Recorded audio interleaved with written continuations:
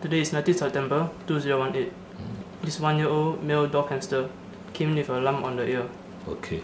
So yesterday he came in, today is day two. We are giving him three days of antibiotics. As you can see, after we clean up, you can see a lot of uh, pimples or or abscesses inside the lump. That's why it's so smelly. Hold, hold, hold, hold, Yes, hold firmly. You can see uh, where's the pen or where's the forceps. We'll take a faucet and show. Now, when point at the lumps, there's some yellowish lumps on the wait, uh, on the abscess. But you gotta hold the hamster carefully, properly. Uh. No, not below the black stuff. Uh. You can see some yellow stuff. No, below, below the on the skin, under the skin. See some yellow lumps? No, under the normal skin. The normal skin is a pinkish there.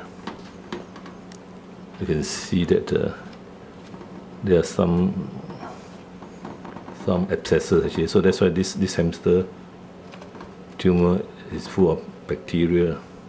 So it's so smelly. Even today it's smelly. So see the abscesses here there. Okay, let him run and see. Although he's eating, although he's active, but he's not eating. You can see that he's been here overnight.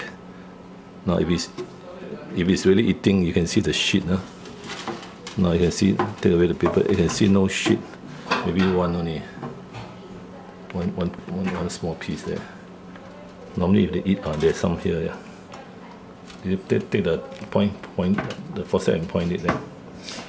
The, the stools, you know how to see the stools? Oh, here below here. Ah, yeah, yeah. You can see, you only one or two. Some. You got a few, lah, yeah. Correct. Some this side. Yeah, at least he has something. So he does eat, uh, but he's not uh, not uh, 100% eating much. So day three we will operate. Day three antibiotics. So today is day two. Okay, let's